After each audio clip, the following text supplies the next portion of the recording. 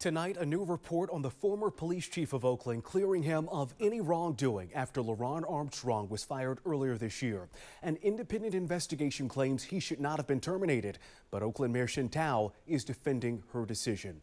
Good evening. Thanks so much for being here for the news at 11. I'm Julian Glover. Despite all of that back and forth, one fact remains true. Oakland is still without a permanent police chief since Armstrong was fired back in February.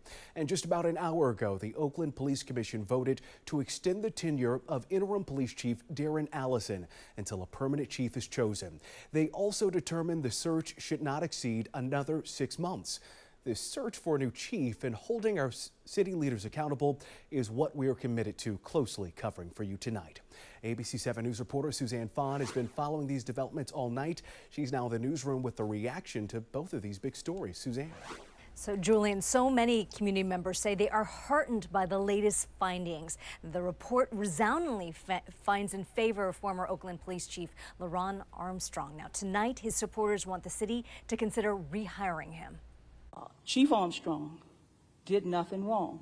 Tonight, Assata Olugbala wears the message she wants everyone to hear bring the former Oakland police chief back. What I want to happen is for this man's name to be cleared.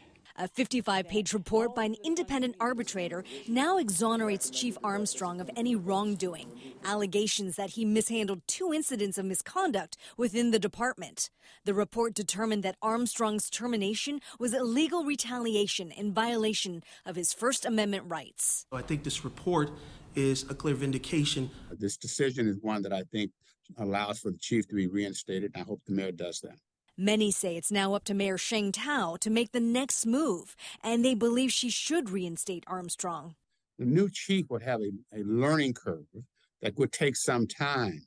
It would make more sense, given where we are now, to have the, the, the former chief to come back Oakland Councilman Noel Gallo says he's been in contact with Armstrong. And my communications with him, he's willing to be reinstated, to come back.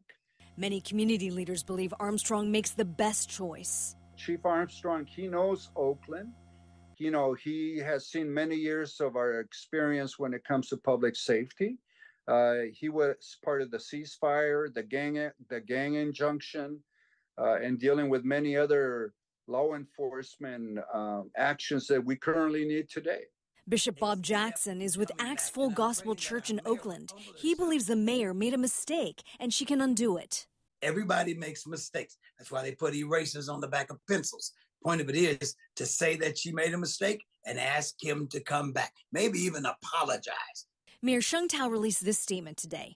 While the law prevents me from publicly discussing the details of the report, neither my administration nor the federal court agreed with Mr. Armstrong that the findings could be written off as mistakes.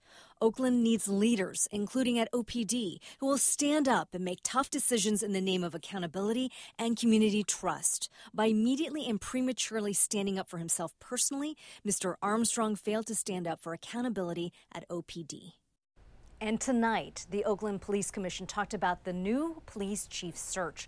At the next commission meeting, they will add a recommendation to reinstate the former chief or include him among the list of finalists. Meanwhile, Armstrong's attorney has reached out to city officials about being reinstated. Several people, including Councilman Gallo, say legal action could be taken against the city if the chief is not reinstated. In the newsroom, Suzanne Phan, ABC 7 News.